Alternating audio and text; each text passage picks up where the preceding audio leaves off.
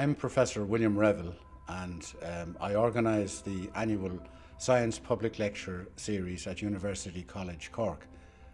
Uh, the purpose of these lectures, of course, is to make science accessible to the general public. We've been running these lectures for the past 10 years and more, and over the years we've had many uh, very eminent speakers, including Sir Fred Hoyle, the famous um, UK astrophysicist, and Sir John Polkinghorne, the well-known Anglican theologian and uh, scientist. The lectures are very popular and regularly attract uh, large attendances.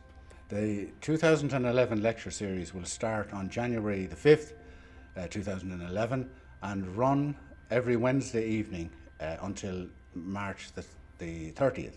The venue for the lectures is Boole Lecture Theatre number 2, and the lectures will start at 8 pm. And of course, the lectures are uh, free to the general public. We have a wide range of topics over the 12 lectures.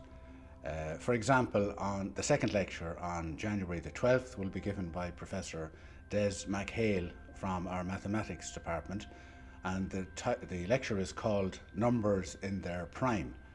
A, a prime number is a number that is divisible only by itself and by the number 1.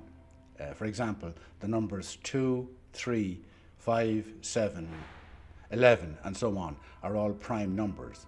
And the lecture will explain how these prime numbers are so important in mathematical theory and in modern times how the prime numbers are used to make and crack codes and cryptograms. Uh, another fascinating topic will be dealt with on uh, February the 23rd. Um, amazingly, science does not understand the nature of 96% of the fabric of the universe. And uh, this huge fraction of the universe is composed of mysterious dark energy and dark matter. And in this lecture, uh, Professor Paul Callanan from our physics department will explain what science understands, or rather doesn't understand, about the nature of dark matter and dark energy.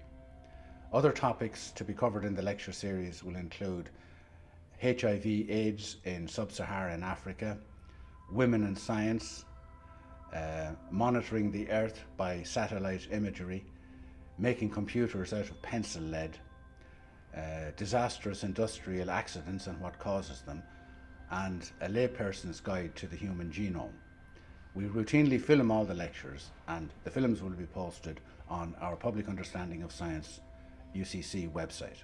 The lectures, of course, are suitable for um, a general audience. You don't have to have any specialised knowledge of science or background in science to understand and appreciate the lecture content. And indeed, the lectures would also be understandable by uh, second level students, and they are all very welcome to attend.